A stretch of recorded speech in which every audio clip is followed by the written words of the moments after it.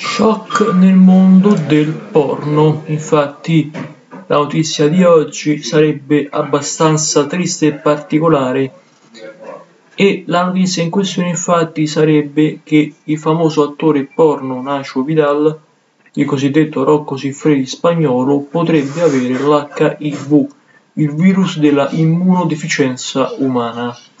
La notizia in questione proviene dai media spagnoli, in particolare il quotidiano chiamato El Nacional avrebbe parlato di ciò. Ovviamente la notizia in questione getterebbe in paralisi l'intera industria europea del porno.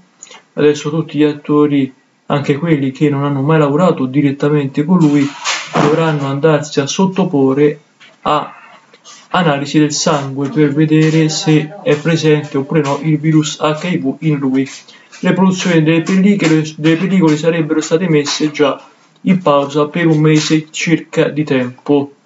Dunque un po' di tristezza, questo sarebbe quanto ho utilizzato in modo condizionale. Iscrivetevi se vi va, commentate. Un saluto al prossimo video dal narratore italiano.